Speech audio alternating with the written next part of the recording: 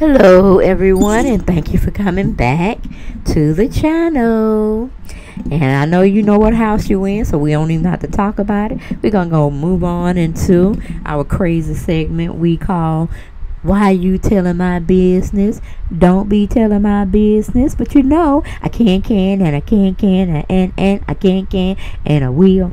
Yes, this story is who is more than scandalous and it's definitely marvelous. Yes, honey. And I was over there at Hustling Wise and he like I said, he always tripped me out with that damn scroll of that piece of paper crackling and he getting down there saying what's it then what's that and hell I ain't never heard it being said out there, but he just go on and some of them he just be tripping me out, and I find interesting. I'm like, okay, let me, you know, he missed some things that I wanted to say, so I guess I'll say it on my channel.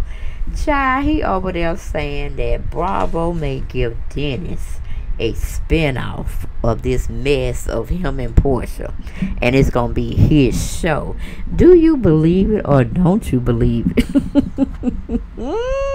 and I hope it's true, cause I'm like, man, what Porsha meant for bad, the Lord turned it in for good for Dennis, or you know, this is where I look at it because both of them need to straighten up and fly right.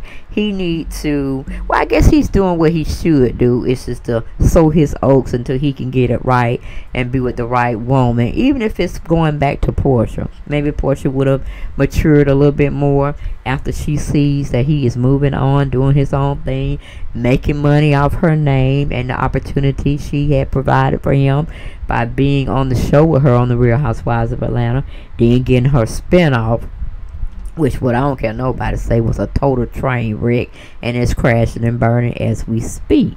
And with me just saying in that little piece of part of it, you know, I had said I wasn't going to uh, review her book because it was a waste of time and I wasn't that far from the mark. It is a hot mess. The whole series of her show is a hot mess. And um it, it's, it's just not favorable for her. No matter how people want to say you know i shouldn't be talking about my own kind. We shouldn't be doing we should be uplifting each other and all this craziness. I'm like we we uplift each other when we doing good. When we doing bad we need to chastise and set some standards out here that they may have forgotten about and just encourage them to do more things that's honorable and and respectable is what I'm saying. I I want every black woman, uh black man, women in general to go and get what they need and they feel they deserve. But make it something honorable you know because we all fall short and we all uh, some of us do get in situations or have opportunities that they think is sent from God and blessing them in this way. But in the entertainment business, ain't nothing good about it unless you're doing good. You ain't selling your soul to your craft and, and doing ungodly, unspeakable things and then want to play it down saying, you know, well, it's just a show. It, I just did that to this. No, because Porsha can go to school. She can get her degree. She can sell real estate because she know a whole hell of a lot of people up in the industry. I mean, she could do a lot of things. She could be on TV being a, a, a, a newscaster or something to a degree far as entertainment. You know, you ain't got to be no true journalist to do that. But it's a lot of things Porsha can do that sit up here and look like she needs to seek work over at the Zeus Network uh, because, you know, other reputable uh, companies are not going to put up with her because they see how she don't act crazy on the Real Housewives of Atlanta as well as her own spinoff. And just, like I said, if she to hurt somebody or she wants to hurt herself, then just show herself acting crazy. But don't bring your whole family and their uh, negative dynamics on the show. Because then we're going to say, well, that's why you act as crazy as you do. Because you don't know no better. You were taught wrong you know? And even when you know you were taught wrong you still try not to uh, rise above all of that nonsense. You just capitalized on it and made your money through it. And now uh, it just is what it is. But one of my family members had said that she wanted me if I would consider uh, buying Porsha's book and uh, reading it and giving us a blow by blow on what was going on. And I told I would, and I was kind of trying to search for uh, her post. I want to say her first name was Caroline or Carol, but I can't remember what video it was under. But, um, you know, it wasn't a bad request, and it wasn't an unthinkable request either. So I thought, well, maybe, maybe. Let's just, let me just see. Let me think about it a little more. So I was out doing my little shopping on, you know, the internet. Because, you know, I ain't going out there nowhere, no how, amongst nobody. With this stuff out here uh, flowing freely. Um, and um, I went on over there to Barnes and Nobles just to see how Porsha book was doing and see because at first when it first came out I think it was like $28 or $30 something like that and I'm like oh hell to the no no no. I ain't paying that kind of money for that book when I know it's gonna be a, a mess. Um but anyway um still trying to search for a name but can't seem to get it guys. But I went on Barnes and Noble's uh website pulled up Porsha book child. It's 50% off. That book is $13 okay? And i wish i was well enough to go pay $13 which probably would have been maybe 14 maybe 14 and uh half of 15 or something like that. Well not half of 15 but maybe $15 total with tax because i had to go to um um in Carolina Street, if anybody knows where that is, kind of like in the Decatur area. Um, of going to the bookstore and I said, forget it. I'll just go on and pay the 13 plus the 7.99 or 49 It was uh, requesting me to do so for shipping. So I still got it under $20. So I purchased it. So look for that.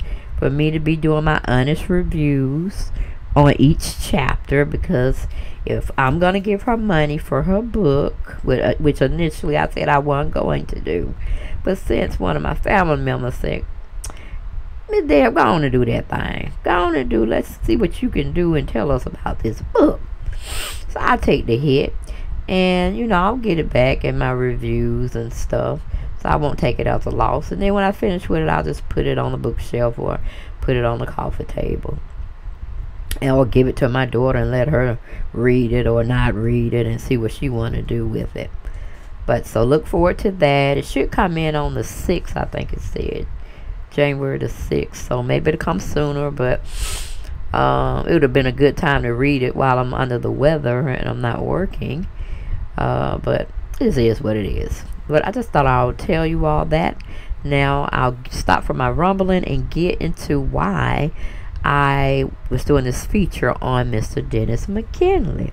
Well, like I said, from Hustler Housewives or Housewives Hustlers, um, I've talked about him and I've shown a picture of him on my channel through one of my videos. He had broke a story on, like I said, Dennis uh, was given an opportunity by Bravo allegedly to possibly get his own spin-off show and pretty much tell his life of being in entertainment business as well as being a uh, fruitful prosperous uh, businessman in the I would say nightclub industry, but he owns um, some joints around here, some hot dog uh, king, hot dog factory king, or something like that. Uh, at different locations, he owns a few of those, and he owns a crew lounge, uh, bar and lounge place uh, where you can go out. I guess you can have like little appetizers and drinks and just chill. And uh, he might have some eatable or edible um, uh, marijuana stuff. I think he also does uh, in his uh, crew lounge.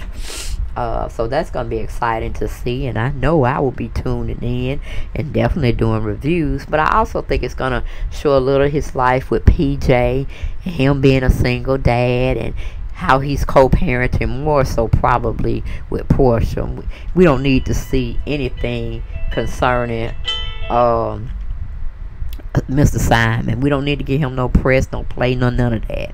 You know, I need to just see him and Porsha co-parenting because that's really what it should have been about from the beginning. Not this blended family shit she trying to put in place with, you know, everybody from her cousins, her aunts, uh, her, the mamas. It, it should have just been about her and Dennis and how they gonna co-parent uh, within, you know, uh, the PJ going from house to house, and then we could have really saw him getting into his life with you know dating different women and what type of women and uh, he was dating and what kind of financial background they come from, and just just show us what kind of women Dennis do like besides nice looking women with great bodies and and all of that. See what they do from that side and see how he court women, um, and then you know you know, he got to go drop the baby off the porch or whatnot, and then their little brief encounters. That would have been something.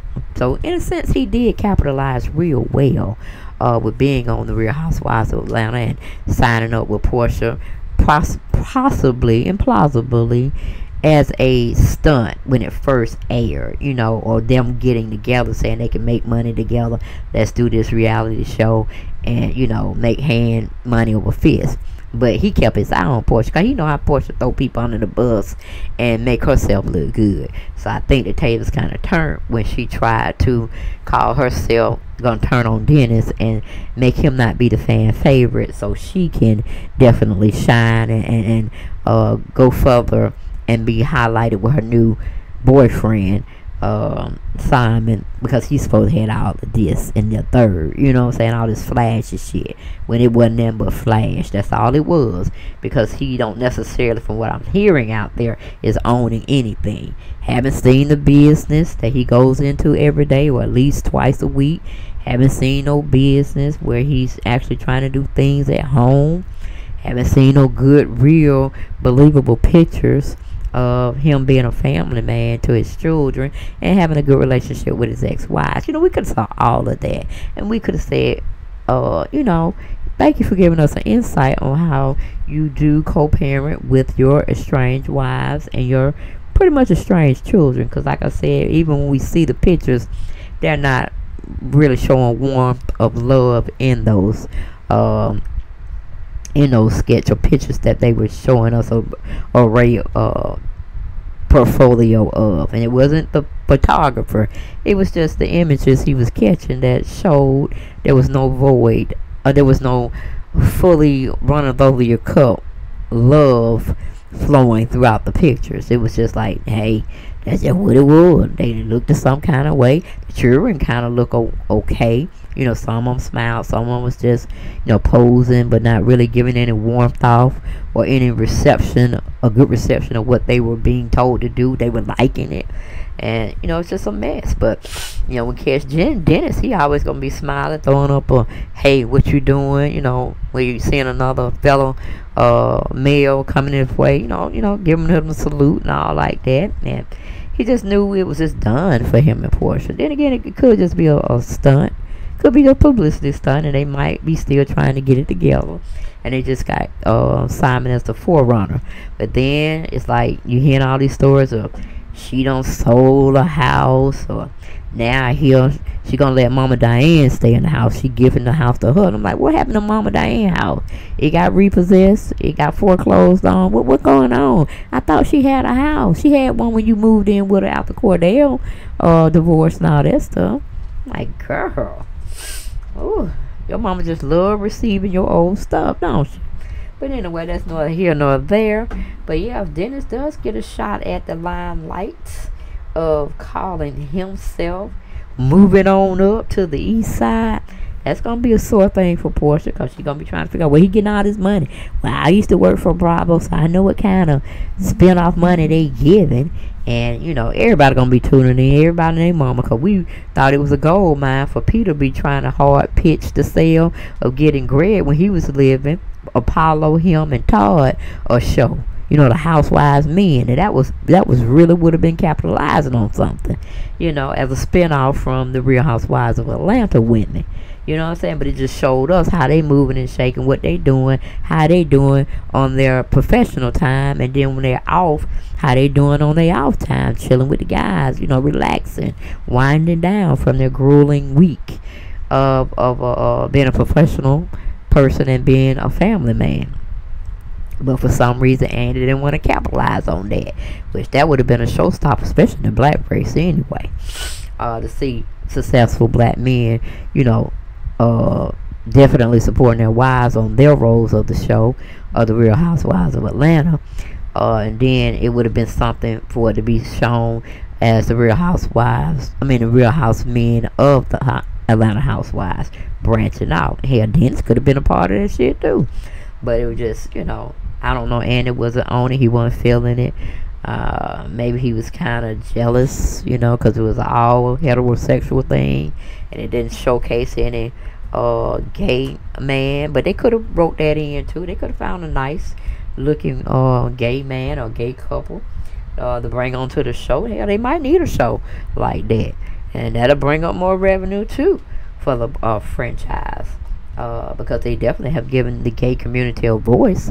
So why not show their comings and goings and stuff of that nature and put it on the Housewives uh, franchise? But I guess Andy hadn't got that far because he's trying to skip his ass away, skip the Lou, my darling, away from the Real Housewives of Atlanta. Thought he was going to CNN and be a real uh, journalist commentator. But it didn't happen in his favor either because his uh, friend uh, Anderson Cooper shut that shit down real, real fast. Okay, even though he did, he didn't really follow the proper channels, but he thought he had a, a shoe in with his uh friend, uh, Mr. Cooper, that could get him on into that combo job. But he's like, nah, nah, buddy, you stick to your soft, uh, uh, interviewing skills with your entertainment people and that type of uh, scenario over there and let the real journalists work, the real uh, ethical side continue to do what it's do because you too messy. You be in messy stuff and, and we don't need the two to integrate at all. So, but that's all I wanted to say, uh, y'all. Uh, like I said, I got it from Hustler, Hustling Wives uh, over there, and uh, he was saying allegedly, and I'm saying allegedly too. It would be great to see Dennis have a spin-off show. I would love to see it myself. He probably can get us give us some more juicy insight on Porsha life and how she really gets down. Um, just to be a little messy part of it. And then he can show us what he do, you know, when he going around meeting with different diverse businessmen and how they come up with new ventures for him to partake in.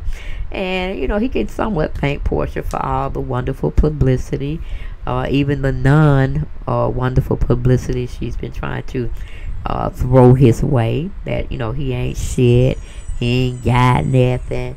Um, what else you call it? Uh, he, you know, he a deadbeat dad. It, it, this awful picture she's trying to paint of him. You know, the only thing that can really stick is, yeah, he cheated.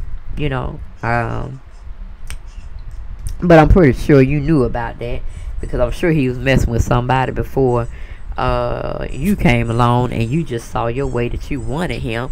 So now you thought you could take him from that woman, which you probably did. But in the long grand scheme of things, he still made a fool out of you too because he ain't changed. He don't plan on changing right now. He's sowing his wild oats. You just got in the middle and tried to play him, and he was already a part of that playing game, and you just got burnt. Sorry, y'all. Had to take a little swig of my ginger ale. Mouth kind of got a little dry. But uh, yeah, it's a good thing. It's a good thing to see Dennis branching off, trying to uh, what do you call it? Trying to get his uh foot into the entertainment business the right way by showcasing himself and what he has to offer um, the television or entertainment scene or seeing positive black man at least handling their business in the dollars and cents world and trying to be a single parent and co-parent with the child the mother's child he made the baby with. Okay but he's gonna always keep it light-hearted. He's gonna always have something funny to say. And he just has a pleasing personality. And i can see why a lot of women are attracted to him. Not necessarily for his looks but he he ain't that bad on the eyes. Because I tell you, money can definitely bring you up. And if you invest that money in yourself, your looks, aesthetics, whoo, honey, child, please, you can look marvelous. And which he does do. But sometimes he get into these outfits that, like my daughter be saying, it'd be too tight for his behind. he needs to know better. But, you know, he, he can get it done when he want to get it done. And that's when most people, you got to do it when you get ready to do it. Uh, carve that body out how you want it to be carved out. But you know, he likes to drink, he likes to eat, and that's where he's going to get it, mostly in his stomach or his face. But if y'all want to see Mr. Dennis uh, on a new show of his own, showing up and showing out, and, and, and giving us a lot more enjoyable entertainment, other than this ratchetness uh, that Porsha got us looking at, bringing down her family, friends, and anybody else she can bring down in an ugly light just to get ratings that's not positive. Yeah, you know, it is what it is, okay? But, you know, it wasn't going to last that long. And I don't want to see her get another season two unless she's going to show just her life and how she's dealing with Simon. Don't be bringing in her mama. Don't be bringing in Lauren. Don't be bringing in these other extras, you know, to try to make a storyline. She needs to stand on her own like other, um, like Kim Zolciak did, you know. Just let it just be her and her, her family, just PJ, you know, and his family and Simon that's what we thought we were going to see. And then Dennis trying to come in there and see how they can parent with PJ and him. But this other mess, Porsha been pulling too many people, and that's why her show is shit. And it's going down the toilet. And we don't want to resurrect it unless she's going to do another whole storyline that's excluding all of the people that look like they want fame, and especially her mama Diane. Because Diane ain't gave her shit. She ain't gave us shit on uh, the Real Housewives of Atlanta, and she ain't giving us nothing. And I mean zero. We in the negative with her, cause she can't stand, show, or prove. She can't do anything in my eyes that that make her deemable as a good mother, and wants to still have the toe of the line and, and make Porsha be a better person than what she's seeing on these social media streets, what she's seeing when she's taping, no checking, no nothing, no moralistical values she's trying to make her realize you must have because when this show is dead and gone, uh, long gone, you still dealing with this damn image. That's not positive.